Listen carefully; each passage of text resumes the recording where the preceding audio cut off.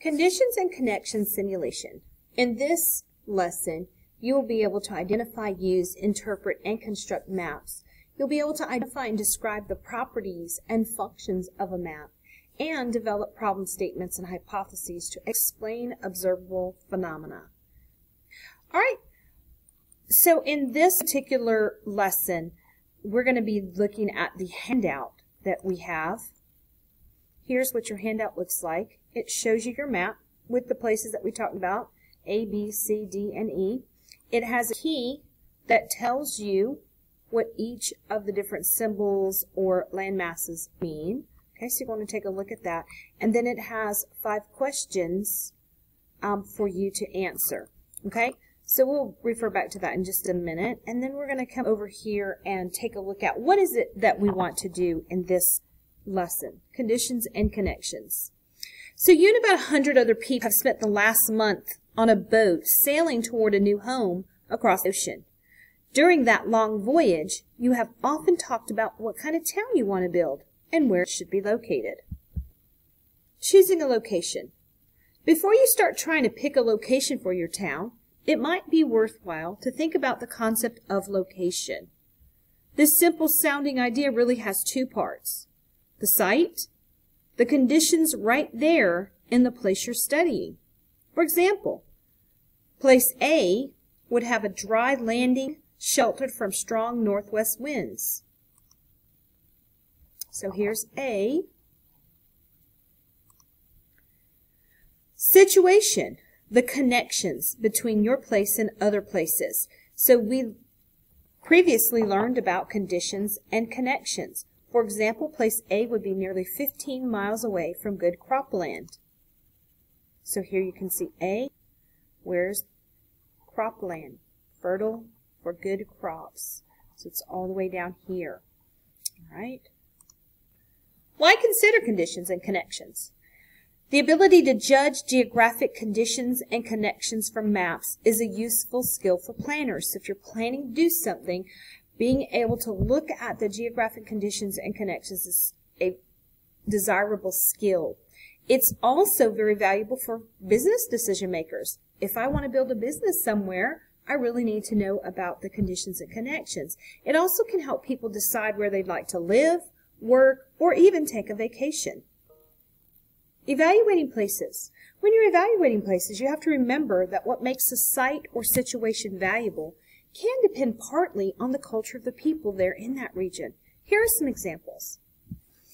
A rock that's rich in iron ore is a geographic condition, but it's valuable only if people have the technology to use iron. If they don't, iron ore does not make a place more valuable for them. So if you can't use the iron, why would you want to live by the iron? A flood-prone field is useful for farming only if people know how to grow crops, crops like rice that tolerate flooding or if they have the technology to build protective levees or drains. Another example is a great natural harbor has very little value for people who produce something that is small and light and therefore does not cost much to transport. So like diamond rings, they don't necessarily need the harbor to transport their goods. Value depends on culture. In short, every place on earth has a particular set of conditions and connections but their value depends on the culture of the people that live there. In doing this activity, therefore, you have to put yourself into the time of the people who are moving into the new land in the early 1600s. Your task. Imagine you're on a ship going to a new land a long time ago, before telephones, electricity, or cars. What kind of place would you choose for your settlement? We will try to choose a good location by discussing a map that shows some possible choices. Traders and scouts have given you a map that identifies five possible locations for a town. These locations are shown on the map. Your job is to analyze the map and make a recommendation about which place to choose. So here's the map. This is also in your handout.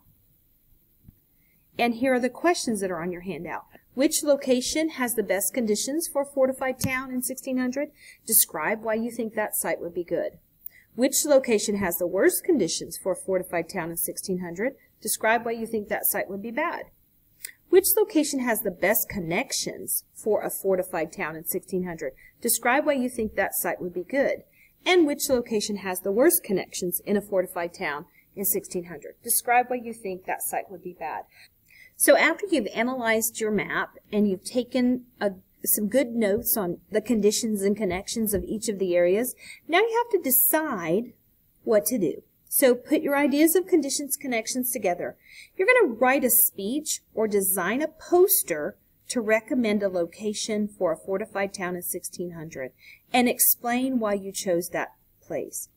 Be sure to state your opinion and give logical supporting reasons based on facts. Again, you're going to analyze your map and then you're going to decide after collecting data about the conditions and the connections, you're going to decide where you would build your fortified town. So you are creating either a speech or a poster that recommends which location you will build on.